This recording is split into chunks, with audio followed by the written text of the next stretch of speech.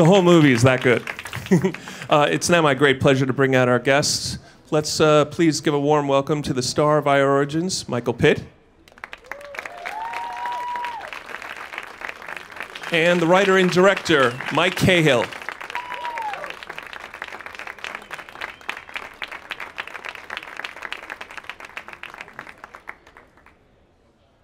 Hi, everybody. How's it going?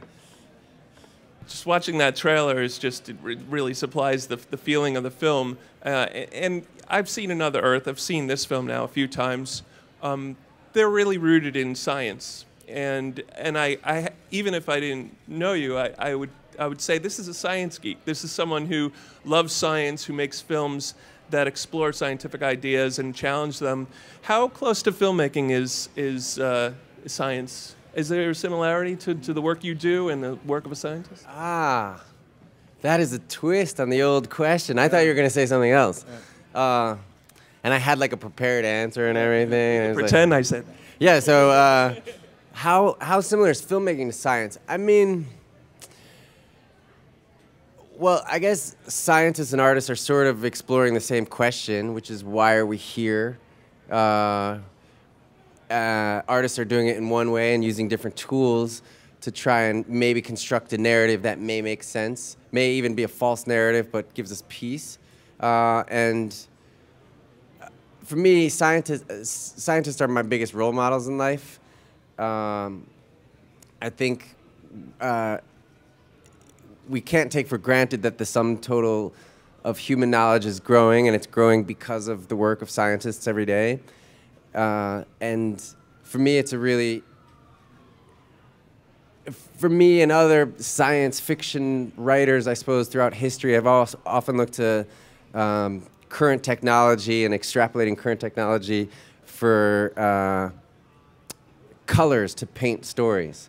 And Michael was saying this the other day that uh, uh, Mary Shelley, who wrote Frankenstein, uh, it was during the time period where um, uh, scientists were just able to animate bodies with electricity, and that had inspired this massive, epic uh, sci-fi horror. Um, so, I mean, we're not exactly doing anything nearly similar, because they're finding they're finding truths about nature. We're hopefully finding truths about humanity. Sounds good. How'd that? How was that? That was all right. all right. Thank you. Yes. Do you, do you you say that scientists are very ins- inspirational. for that. There it is. Uh, Were, did you study science? Did you come from any kind of a scientific Uh, background? I studied science when I was like 10 years old. Uh, no, but I, I got kicked out of biology class. Um, uh, but I was saying earlier, just as much as I admire scientists, I admire actors. I think they're, uh, I like to surround myself with people who can achieve feats that I s- fall back in awe and watch with awe because they make my life more interesting.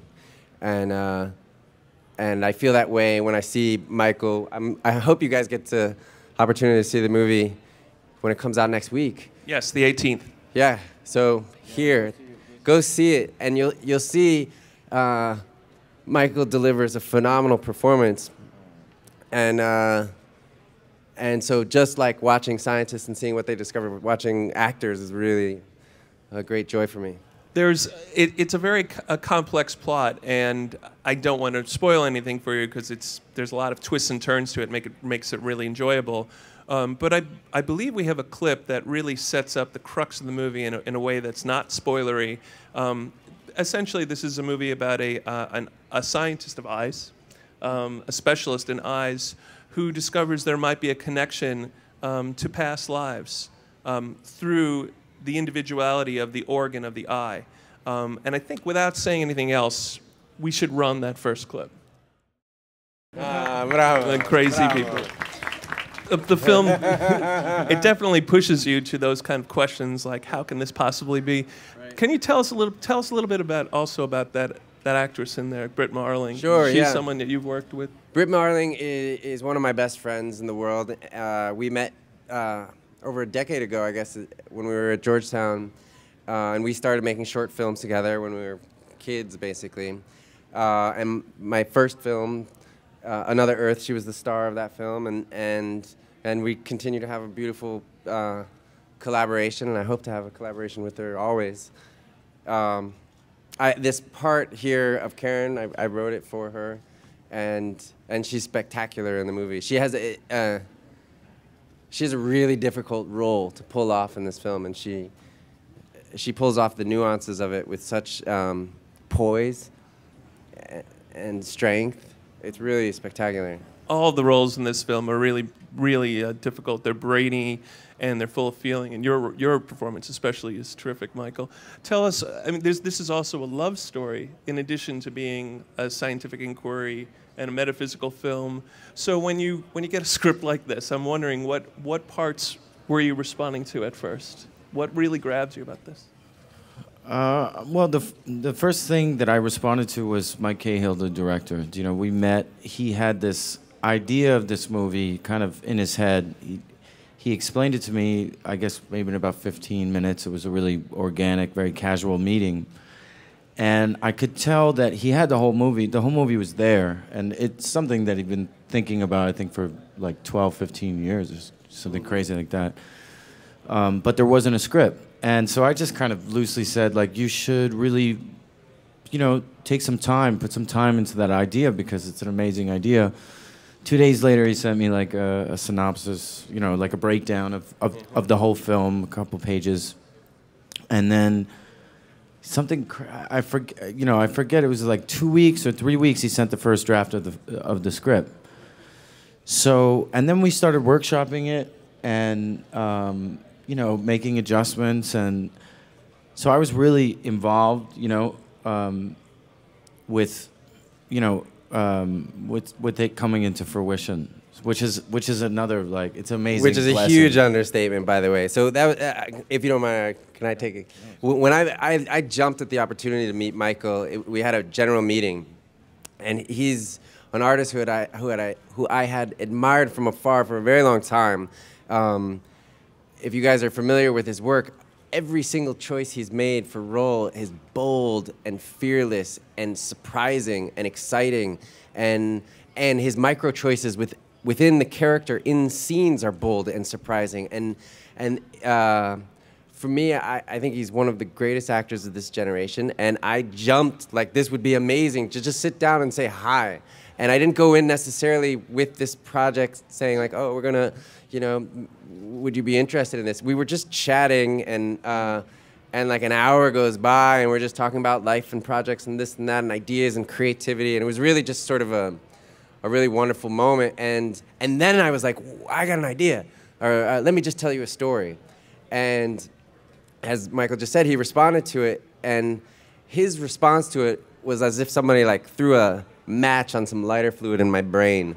And it was set ablaze, and I thought, wow, like I might have the opportunity to do something with this great artist. I better get busy. And and and after he received the first script, um, you know, that character, he built that character from the ground up. Like he uh, did a ton of research on the eyes, studied Richard Dawkins, studied, you know, Michael uh, wrote me this long. Uh, uh, essay about the history of Ian, what he did, what he was like when he was a kid, what he was like as a teenager, you know, uh, the first time he got glasses, you know, the first time uh, he discovered a camera. And those things became part of the, the fabric of the, the whole entire film.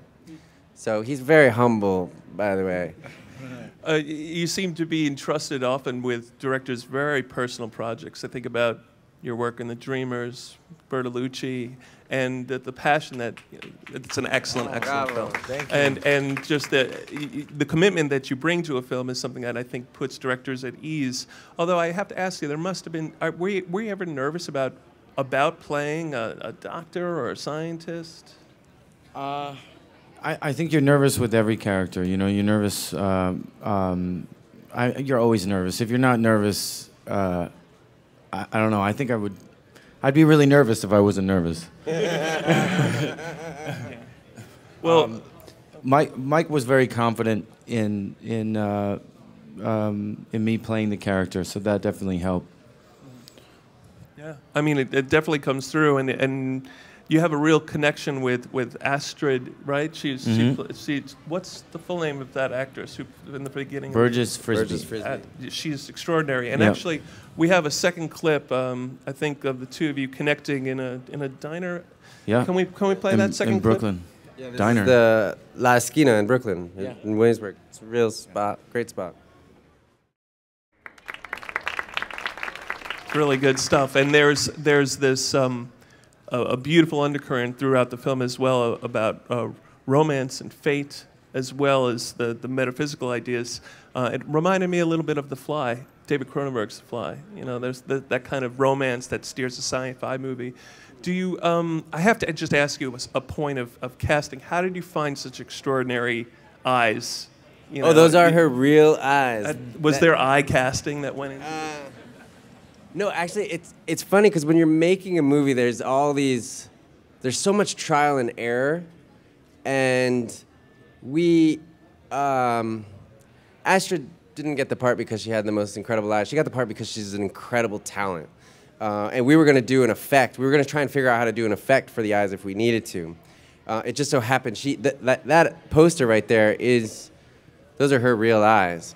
Um, but in terms of trial and error, we made, for example, contact lenses with very special patterns in them, but it looked so cheesy and so fake and so bad. And especially because we shot with the red cameras in 4K, it just looked ridiculous.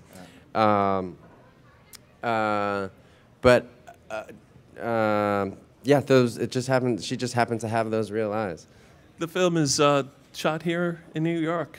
Um, how important to you was it to, to make it a New York story? Uh, if I'm, this is my home. This it, it feels really natural here. There's something about New York that I really wanted to capture. There's He likes walking from his house to set. To You know, set. that's really what it in was my about. bathroom. lazy. You don't want to be late. I know exactly. I live right next to that diner. When they're like, "Where are we gonna shoot?" I was like, "Oh, having coffee." I was like, "How about right here?" um, you got me. Uh, It's great to work in New York. I mean, it's, Yeah, it's great I, to- it's lo- I love making films here. Do you know? I mean, I live here. I'm a New Yorker, and um, I mean, it's just it's great to, to work here. It's great to work here. The crews are great. The, our team was amazing. Uh, you know, and we wanted to capture the real feeling of New York, and the real feeling, also capture the real spirit of being a PhD student living in New York. That the real sort of three dimensionality of being a young scientist who's trying to pursue discovery while living in the city. And, and so often scientists are, or PhD or young scientists are, are never really accurately captured in films.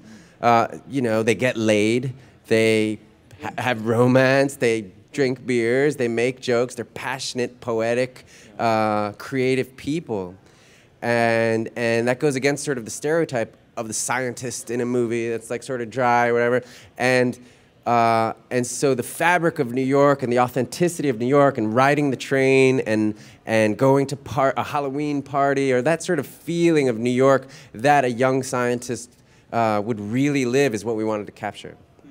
You definitely get at that. And uh, I think uh, another thing that the film addresses, it's kind of provocative, is this idea of intelligent design. And this is a, your character is someone who is a, a debunker of intelligent design. And I, I wonder how, how, how meaningful it, it is for you to, to make a film that really addresses sort of something that's potentially inflammatory like that. These ideas of religious butting up against science, and maybe there's a way for them to coexist. Yeah, I mean, I, I, I think that that debate can be uh, very often looked upon as a, as a war. It can also be like a, a taboo subject. What's amazing about this film is that I, I, I believe that when people watch this film, they, they will say it's, it's a very scientific film, and then they, they will also say it's a very spiritual film. And it's done in such a, um, an eloquent, eloquent way, in such a positive way, um, to, to show those two things not at war with each other.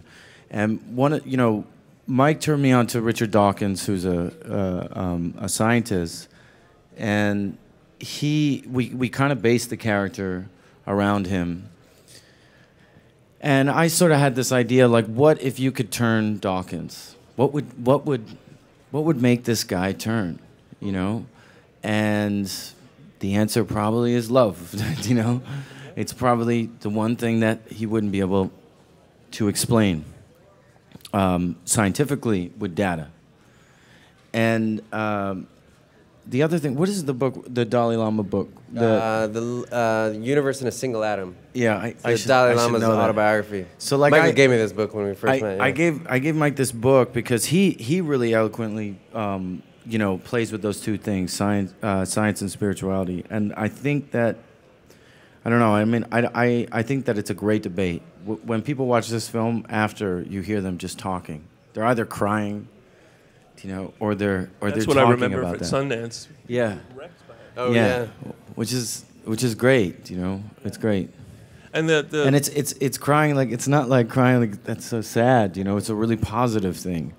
Uh, uh, that's a really difficult thing to do in film to dial that in uh, to to an audience it's like a catharsis. It's like a real spiritual place the film goes to, and it's and its last portion. Again, we're not spoiling anything. Um, the film goes to India, and actually, there's um, it, it explodes into a completely different emotional register. Um, and I think we have a taste of that that as a final clip to show you from this film, I Origins. Can we run that last clip?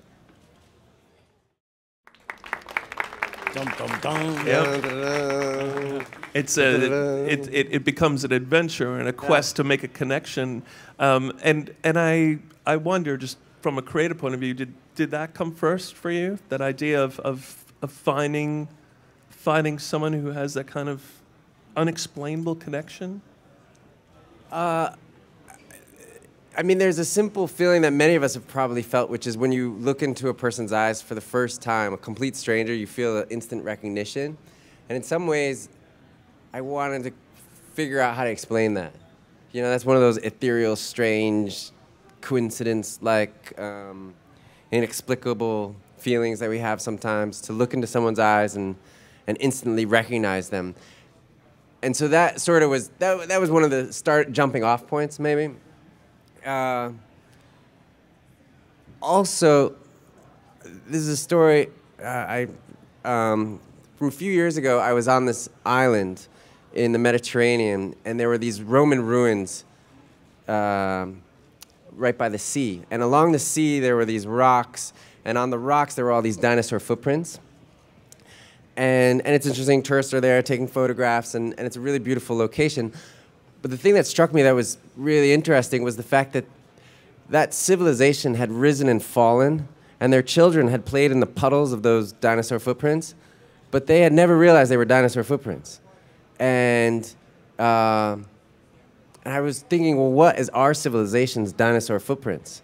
What's right under our noses that, that we take for granted, that we don't realize the greater significance behind them?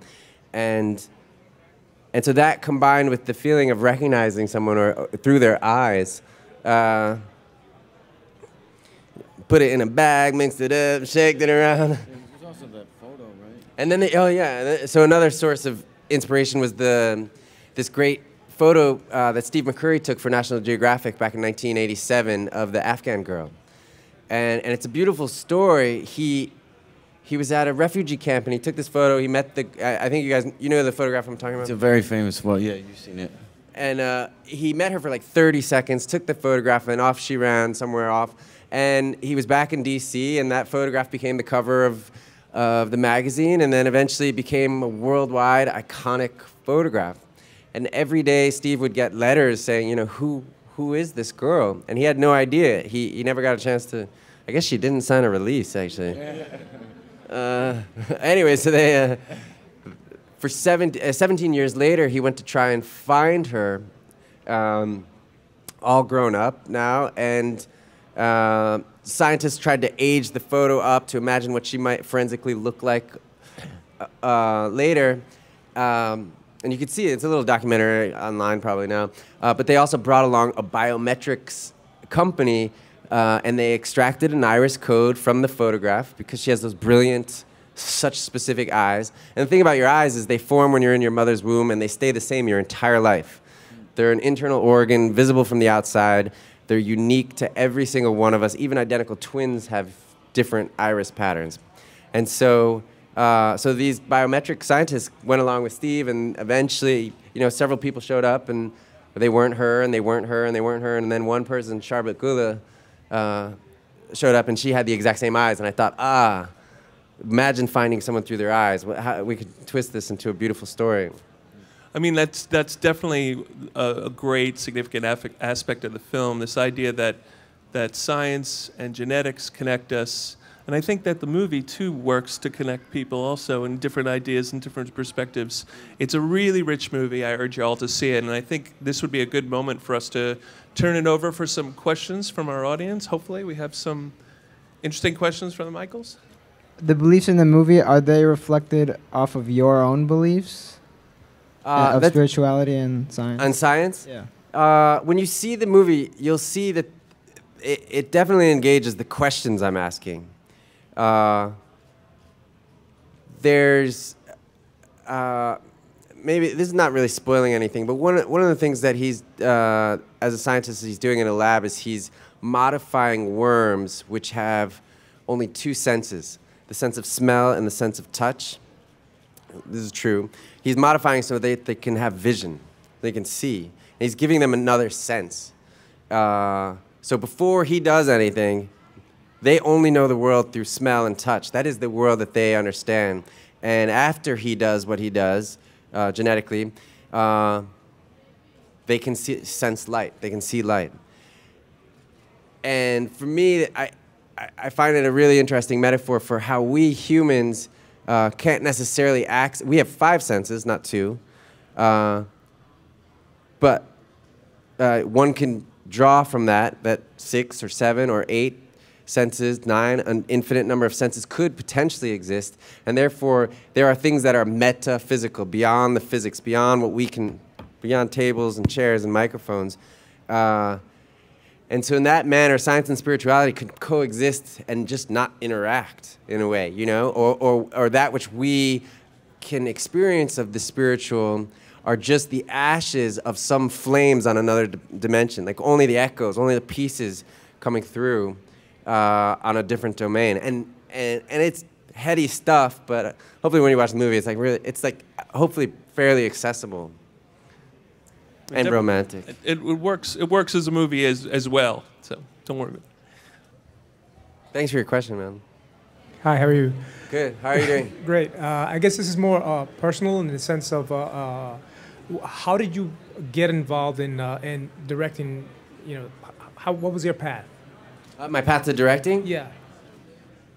Uh, uh, when I was a very young boy, I uh, was fortunate enough to get a Fisher Price Pixel Vision 2000 camera, uh, which was thrilling and exciting for me. And I remember as a, as a young boy, I filmed my uh, little brother sitting in my mom's car, and then I filmed the Matchbox car, and then I filmed him sitting in the car again, and watched that down, and it looked like he was driving the car. And it's sort of a simple thing, but that was so exhilarating for me. I felt like I had discovered Jupiter or something like that. It was amazing. And, uh, and, I, and for a long time as a kid, I would experiment making little movies. And then I forgot about it and stopped and was a teenager. And it wasn't until I was in college, I think, in one week, I saw three movies. I saw Soderbergh's Sex, Lies, and Videotape uh, Basquiat by Julian Schnabel, and uh, Red by Krzysztof Kieslowski. Before that, I'd never seen any movies like that in my entire life, and I was like, whoa, this is what movies can do. This is totally different from what my understanding of movies uh, was growing up. Um, it was they they were able to transmit emotions that were really difficult to articulate with words and yet they did it so succinctly with images and pictures and narrative over you know an hour and a half, two hours, uh, and feelings that you could feel viscerally. And and from that moment, from that week, I, I ran off to a pawn shop and bought a camera for hundred bucks, like a Super 8 camera. I was in the middle of studying economics at Georgetown, uh, but it like reinvigorated this, or reinv- it, it was like it was the beginning, and uh, and then I just taught myself how to work with a camera and editing gear, and, and just became sort of obsessed. I've not stopped since. Hello. Hello. Uh, How are I you? Had a, Thanks for coming. wonderful. Thank you for coming. Uh, I had the pleasure of screening the film in Sundance. Uh, back in Awesome. You've seen it. I have seen it. That's great. Um, Did you like it? I loved it. Oh, great. My, of my guys, she favorites. liked it. You guys should see it too. Thank you. Um, two questions. Uh, you guys go into amazing detail in terms of the research that you did and the process in making the film. I wonder if you ever thought about uh, creating a companion piece to kind of talk about like your process, Michael, and you know your process and all the background information that you did. And then also, I found the score amazing. Can you just talk about the music? The I'll start with the score, and then you can talk about the process. Okay. Or, or you can talk about process. I talked for a little while. You should talk. I want to hear your voice a little bit more. Okay. Uh, so, something about the process that you know my my process, um, and I- and I believe Mike's process, because he didn't go to film school, because he started making films by doing films.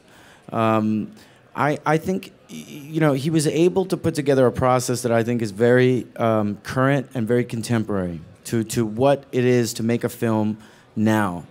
And um, when we were workshopping the script and designing the character and why he, he was thinking about the shots and, and how he wanted to shoot it, you know, we were doing all those things at the same time. And, and um, nowadays, you can shoot your film, uh, you know, pretty much anywhere. You can edit your film anywhere because of technology. It's, it's, it's funny because we're in the Mac store, Yeah. but All the gear's, like, right here. The gear has changed the business. It's changed the music industry. It's gonna. It's changing the film industry. And what's amazing about Mike is that he he he recognizes that. And for me, uh, being an actor who's worked with many many different directors, very often you you meet you meet directors who uh, are trying to how trying to do it how they they taught it in film school, and it's usually kind of old school methods, and it's it's not contemporary. It's not uh, the way that you know. I would say that you that you that you make a film nowadays. So we very often we had two cameras running all the time. It, it wasn't uncommon for us to have like a 20 minute take. Um, uh, we did a we did camera tests that some of those camera tests are images in the movie. Uh, I mean, Mike edited the film, which which uh, is another thing for, for an actor having a director that understands the camera. It wasn't it wasn't that uncommon for him to grab the camera and start shooting. But um, it it was a great feeling for me because, you know, I could I could sort of feel when he was getting excited, you know. Um, so I don't know. I mean, that's that's some of the uh, some of the process that I think is unique to I Origins, to how we made I Origins. Absolutely. And and read the score. The score is written by uh, Will Bates and Phil Mossman. They also did the score for uh, Another Earth, also. Um, and um, they have a studio in Brooklyn, really close to my house again. uh, and um, I don't know. You know, it's one of those things that's hard to articulate, but when you find artists that you you're in sync with, where you know, for example, there's a whole palette of instruments one can use, and these guys are drawn to these strange instruments. There's one instrument that it's like a water.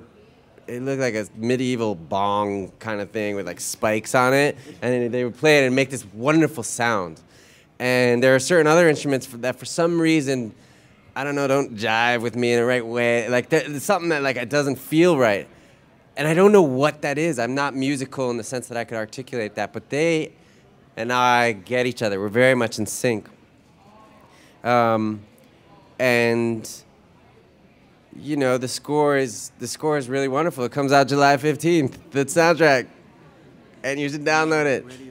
Oh, and Radiohead. That's right. Yeah, there's a beautiful. There's um, two songs by Radiohead on the album, which was really, really amazing. It's amazing that they let us uh, use They- their song because it's Yeah. not very common for Radiohead. And Yeah, it was really cool. They gave, I mean, they they gave us those songs, which was really, really kind. And uh, and the Do. There's another track by the Do. The track list is sort of out there. Um, it's definitely something to listen to in your car. Oh, this is New York. No one has cars. to listen listen to it on the subway. on the subway on the iPad. Those Don't are get great- hit by a car. on We're in the App Store. those, those, those are Not great too questions. loud. I, I think we have time for, for one for another question. Hi, thanks for coming. Hi. Um, I was wondering what made you choose India to film. Um, it's a beautiful country, but of course it's so different from New York in that like New York is cities and big um, buildings and everything, but India was so. I was just watching this one scene. It was so like inherently different. I just wondered what made you choose it. Sure, it's a great question. Questions why we chose to film in India. So uh, it's no we secret. just wanted to go there. Yeah. So like, Yeah, exactly. Vacation. we were like, you know when we you like, are you know, if we write you it get in to the script, we'll have to end up there. No, that's Um, not true. That's not true. In, in terms of the narrative, I mean, it's, in every joke there's uh, half truth. Um, but in addition to that, uh, narratively speaking, the film.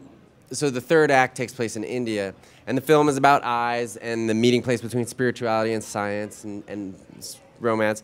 Uh, the thing about India that's really wonderful and fascinating, one thing or two things that are really particular to our story. One, um, the belief in the transmigration of souls is sort of fundamental. It's like the ground that one walks on there culturally. Two, uh, India has the largest uh, program, uh, ID program, scanning its citizens' eyes, literally. So every day, another million, there's, there's a billion, 1.2 billion people in India, I think. And, uh, and they have this national program uh, to create IDs based on the eyes. Uh, and it's a wonderful program. It's actually really, uh, it helps facilitate uh, people to get um, bank account, open bank accounts. It facilitates voting, and it's really just a, it's a really useful ID system that was invented in the 80s. That uh, that you know you don't need a card because you never forget your eyeball. Basically, is the thinking. And like that, that sort of technology you see in Minority Report, that's actually real technology that exists today. There's this wonderful company called EyeLock uh, that was that was a great consultant for us in the film, and we use their devices within the film. Uh, and so for our film, the purposes of our film, that scientific iris biometrics, meaning the sort of spiritual fundamental belief system, um, was was just the perfect canvas to tell the, the, the climax of this story. Thanks for that question. And it's beautiful there. Thank you so much for making this movie. I can't wait to see it. Thank you for coming. Thank you. And I actually have like three questions in one. That's all right. We'll answer all three. So the first one is, um, where does the name of the wh- what inspired the name of the movie? Sure. The second one is, how, what is what inspired that whole narrative of why this storyline, and what is there anything in particular that you hope to get across to the viewer? And what is your spiritual path? um, the the title of the movie, I'm I. It's sort of an obscure seeming title, but actually I'm very literal when it comes to titles. Like Another Earth is about another Earth. Uh, I made a documentary a long time ago called Boxers and Ballerinas, and it was about boxers and ballerinas. Uh, and this is I Origins, and this is about the origin of the self, really. Like where is the, the that entity that which we call I? Um, you know, where does that come from?